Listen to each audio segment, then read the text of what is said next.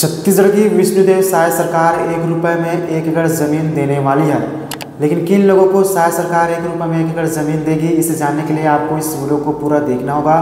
तो देखिए इस पूरे वीडियो को और जानिए कि छत्तीसगढ़ में साय सरकार किन लोगों को एक रुपये में एक एकड़ ज़मीन देने वाली है और कैसे आप इसे पा सकते हैं, उसे भी जान लीजिएगा। तो देखिए इस पूरे वीडियो को और इस वीडियो को शेयर ज़रूर कीजिएगा। छत्तीसगढ़ सरकार अब एक रुपये में एक एकड़ ज़मीन देने जा रही है। दरअसल प्रदेश की सरकार ने नई उद्योग नीति लागू की है, जिसके तहत लोगों को एक रुपये में एक एकड़ ज़मीन मिलेगी। यह योजना नक्सली हमले से पीड़ित लोगों के लिए लागू की गई है।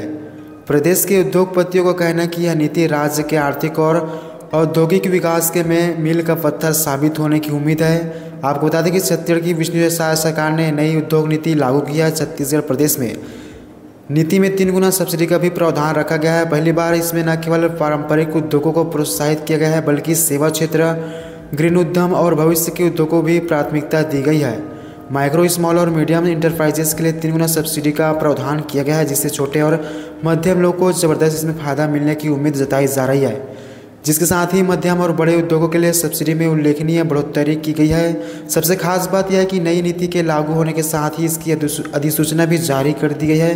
जो आमतौर पर लंबी प्रक्रिया होती है विशेषज्ञों का मानना है कि इस नीति से राज्य में रोज़गार के नए अवसर पैदा होंगे और औद्योगिक विकास की को गति मिलेगी। तो छत्तीसगढ़ में शायद सरकार ने एक नई उद्योग नीति लागू की है प्रदेश में, जिसके तहत लोगों को एक रुपये में एक एकड़ ज़मीन मिलेगी। यह योजना नक्सली हमले से पीड़ित लोगों के लिए लागू की गई है। और इसी तरह के वीडियो के लिए हमारे चैनल को सब्सक्राइब ज़रूर कीजिए और इसे शेयर ज़रूर कीजिएगा।